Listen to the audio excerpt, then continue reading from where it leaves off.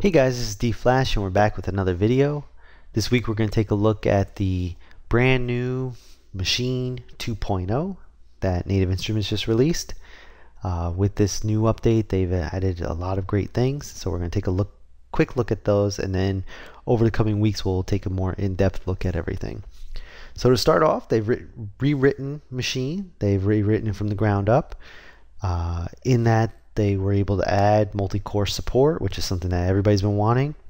If you've been using Maschine, you'll know that as your project starts to grow, um, you start to run out of CPU resources because you're just limited to that one core on your computer. And if you've worked with other software and you've got multiple cores, you know that you can get quite large projects done um, when you have that multi-core support. When you're limited to just one core, you don't have much that you can do uh, when you start to get a lot of plugins running at the same time and a lot of sound effects and stuff. So by adding that multi-core support, they were able to give us unlimited groups and unlimited inserts on our sounds, which is really freeing when it comes to um, sculpting your tracks and sculpting your sounds and building out what you're trying to do. So what that does is that just enables us to um, really shape our projects and um, also one of the cool things that we can do is you could have more than one bank of groups. So right now you've got A, B, C, D, E, F, G, H. Now if you want to expand out to that you just hit the plus sign or you hold down select, hit next, and then hit the next group that you want to add which is A and you can just kind of keep going like that.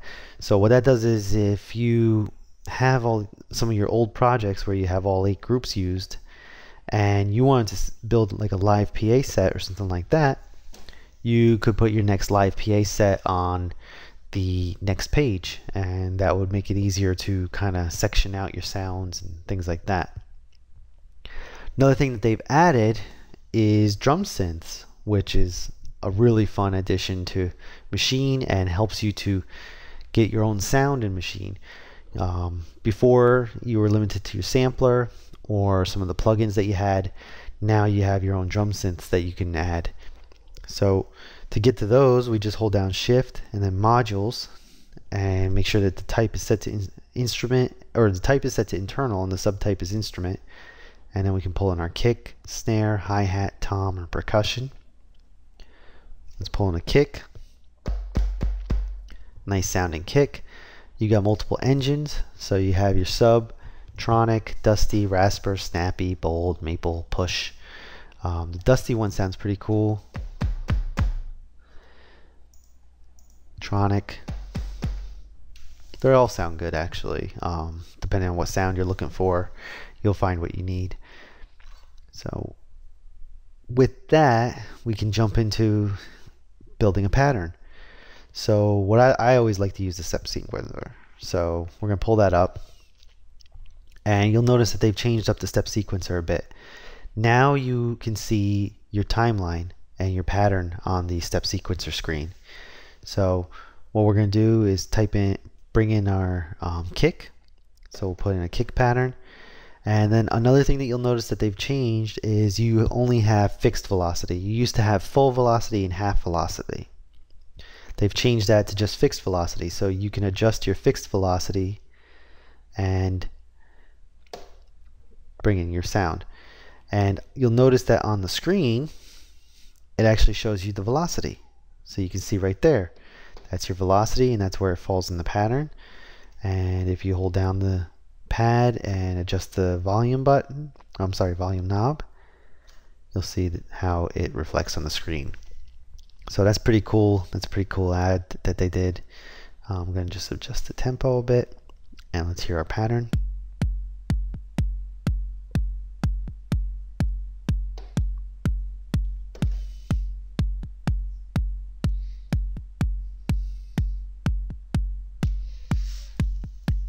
Okay, and then we'll bring in a, uh, a snare.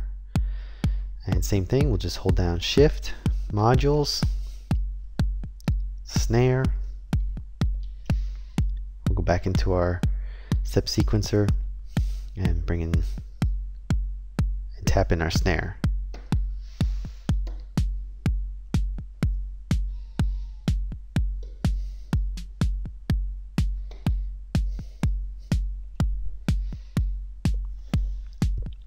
And you can see that we can adjust all the parameters just like any other plugin.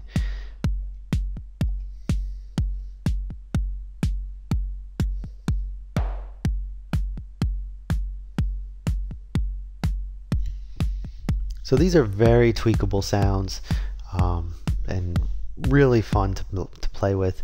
They've even um, added presets for them and full kits. So you can see that we've got a full kick here that we can bring in if we want.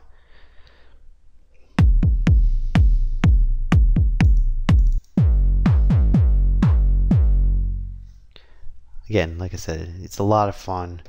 Um, and we'll dive into those a little more in the next coming weeks. Um, another fun thing that they've added, or a great thing that they've added, it's very useful, um, is the scene arrangement mode. So if you hold down scene, you'll see your different scenes. And then if you hit the arrange button, you can actually see your timeline on your screen, which is great.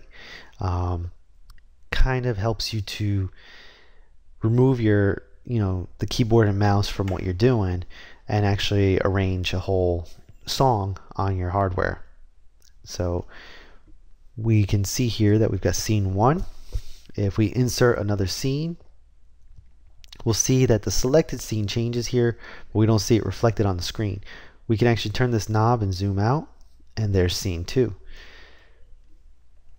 see that there's nothing on there right now and if we go back, there's our other scene.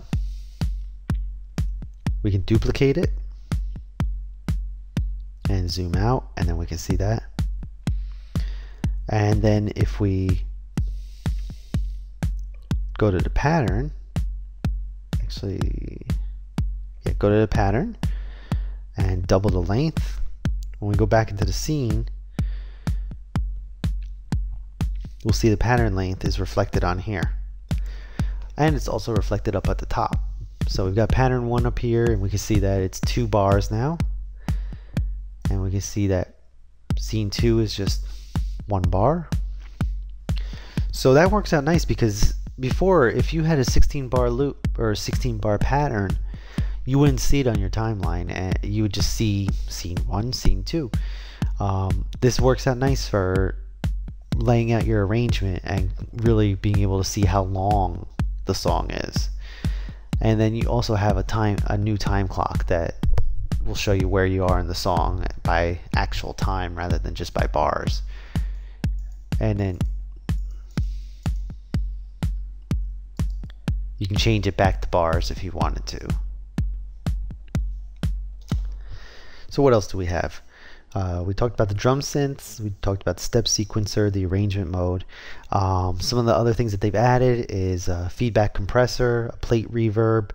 Um, now with the purchase of the upgrade, uh, you'll or if you purchase Maschine Studio or Mark II, the Mark II, you're going to get with it um, Prism, uh, Scarbee Mark One, which is uh, a piano, electric piano sound um, plugin for Kontakt and solid bus compressor.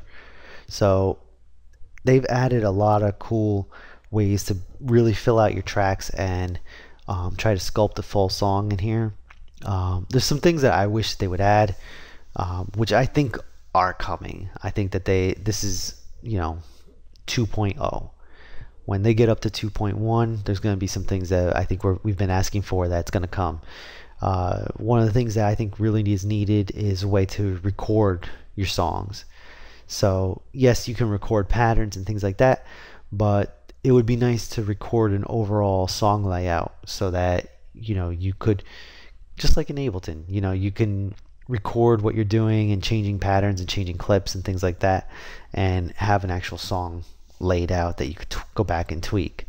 Uh, another thing would be being able to draw in automation or even record automation across patterns. So if you're trying to do a build-up that goes across like three different scenes, you could actually record that in and, and have that on your main timeline. Uh, I think I think that's coming. I think that that's something that we've been asking for that they know we need, and I think that that's going to come. But this has been a great update to maschine and I'm really looking forward to see what they add add into here. Uh, make sure you subscribe to the channel because I'm gonna keep going through maschine and what we can do with it and the different sound drum synth sounds and different things like that and other things that have changed. So make sure you subscribe and check out what else we're, we're doing. Alright thanks for checking out this video and I'll catch you next week